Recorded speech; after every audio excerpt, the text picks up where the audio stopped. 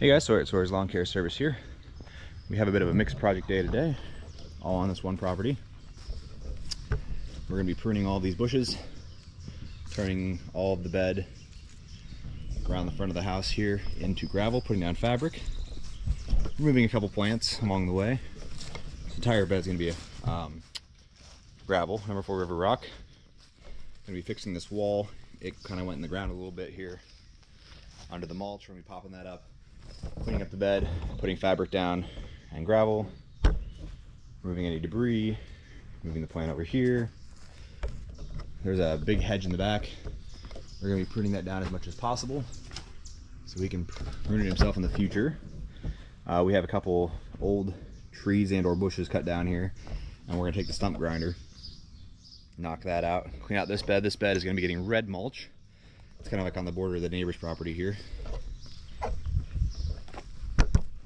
That stump's gonna go away.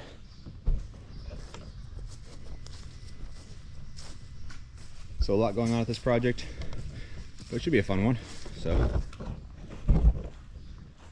hello. So yeah, so let's get started.